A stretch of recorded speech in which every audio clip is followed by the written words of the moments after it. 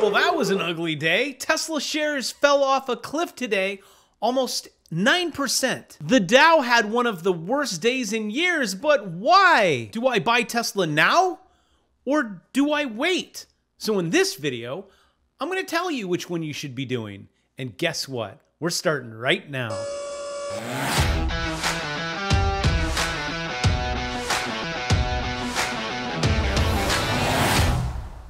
Welcome back to my channel, and if this is the very first time you've seen this dude, this channel's not about me, it's about you, helping you start businesses, and then with that money that you make from those businesses, you invest it, and then you have to protect it.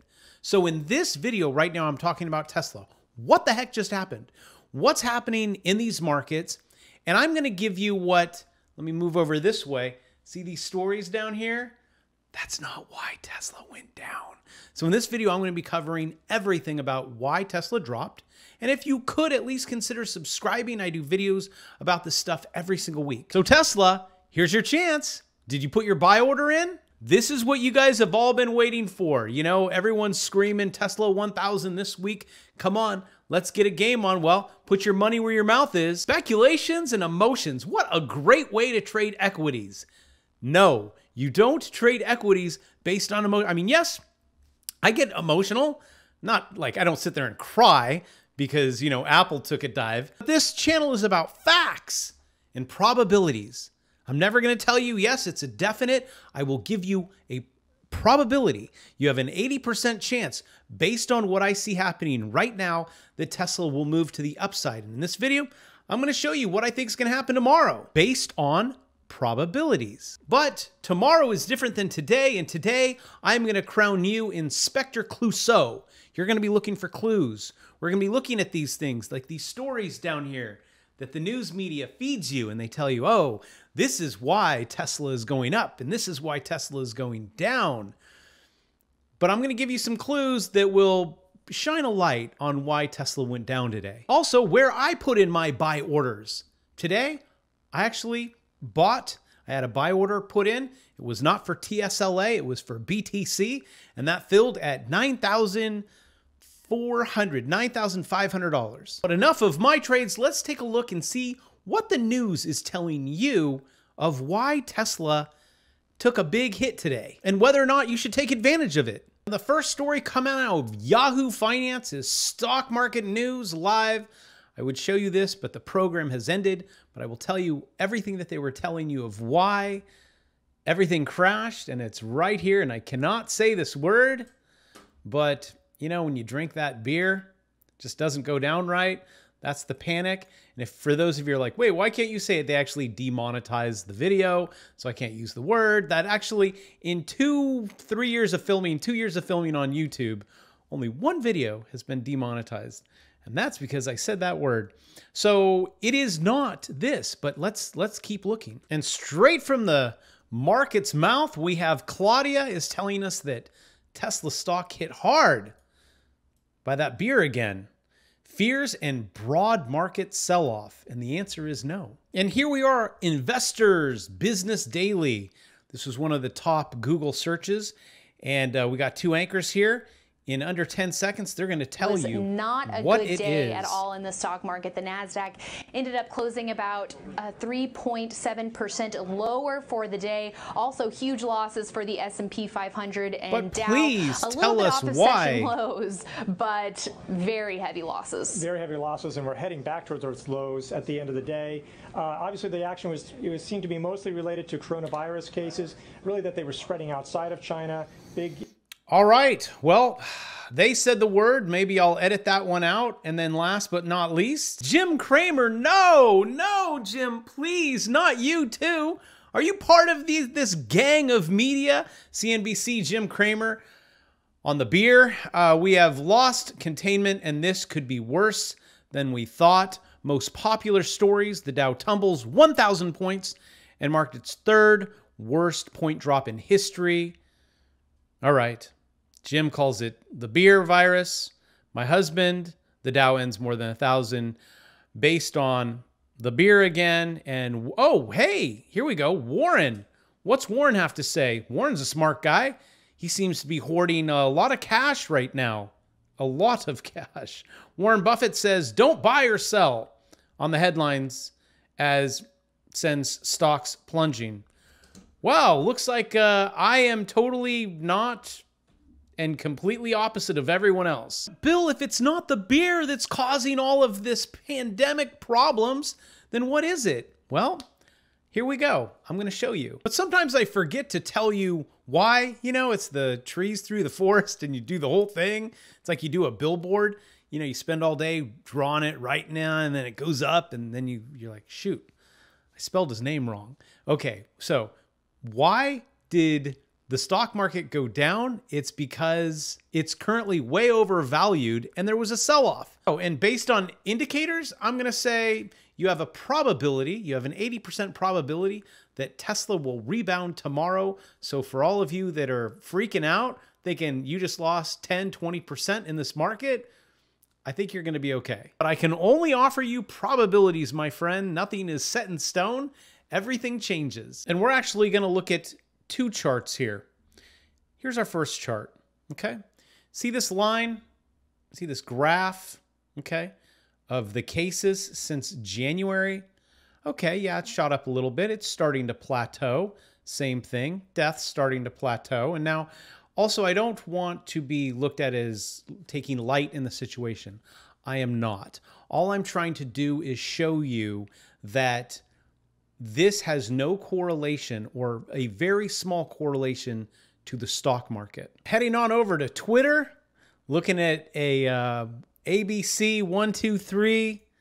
Here we go. Show me the charts and I'll tell you the news. And this is not my friend Bernard, and that is not my friend King Khan, but that is an Elliott wave theory. And that is more so what I look at in regards to whether a stock goes up, down, for how long, or whatnot. So this was not easily predicted, but it's not what the news wants you to think. Because if we look at the correlation of these two charts, please tell me why it hasn't gone down. Why has Tesla gone up when beer has gone, well, it's starting to plateau? Where where where were you here? You weren't. Because it's not a direct correlation. Let me just show you this. I'll show you why from a technical standpoint. And most people don't like technicals. They're not into the, the, the, I don't I don't get it and people are clicking away right now. Oh, this is so confusing.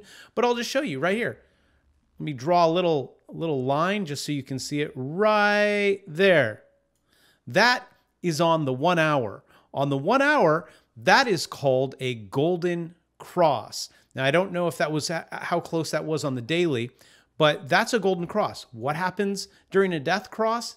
Stocks go down. Now, again, this is not 100%. I'm just giving you, you know, 80% of the time, 85% of the time. These are probabilities. Everything that I speak about is just probability. There is a high probability that Tesla is going to come back down and retest the 50 or it will come back down and retest the 200. That would be that line right there. Now, when do I buy? I buy either A, at the retest of the 50, or B, I, I'm actually waiting for a, a lower on Tesla. I'm not. I'm not going now. Again, I love I love Tesla. I think it's an amazing company. I believe it's a technology company. It is a car company. It is a battery company. It is a cult. It's an everything company that people really can stand behind. Right now, Tesla is extremely overvalued and it's fun and it's exciting and there's there's exuberance and everyone's like, "Oh, it's so great." I mean, Tesla sure they've come out with some things in the last, you know, month, the last 2 months that I am jazzed about. Yes, I I did put a down payment on the Cybertruck the night that Elon's like, Cybertruck, you know, like, take my money, Elon. But looking at this, when do I buy? Just so you can understand. And when did I buy today? Did I buy Tesla today? No. Would I consider it at this level if I want to do a swing trade? I would consider it, but I really need lower levels. I this does not make sense to me. A hockey stick, I don't play hockey. I stay away from it. If I were to buy Tesla, This on the RSI right here, that line would have to cross below the dotted line. Otherwise, I don't play that hockey game. I was buying it here, and that was before, and then I sold here. That's the last time I've been in a Tesla position. That's it. Yeah, I made some money. Okay. Uh, today, I just put in a buy order in on this this little coin, this little Bitcoin right here. On the one hour, I actually trade on the 45 minutes. And again, everything that I say here is not financial advice. Do your own due diligence. I'm just a YouTuber. I don't know anything that I'm talking about. If you take a look right down here, this is the relative strength index. And this is what bots and computers and people like traders do the gen population 99% they're like yeah it's going to the moon. And they're getting in. When they're getting in i am getting out. Very contrarian at some point. Now looking at this is i would get in here and i would close my position there. I get in here and i close my position there. I should take you to like the chat that i have with my kids because they're like dad do i look look look it dropped. So today on the 45 I got in, I purchased right there, and I can tell you it was 9,400 and something, right at like, right at that level. I had a buy order in. I also have another buy order in at 8,500. I'm waiting for that level, and I could draw all day long. I'm just trying to give you guys the basics on how the market works, just the fundamentals. So you're not watching the news getting like, oh, it's this, it's that, it's the election. Like, and people, let me let me do this. Let's go back to Big Me. People want a story.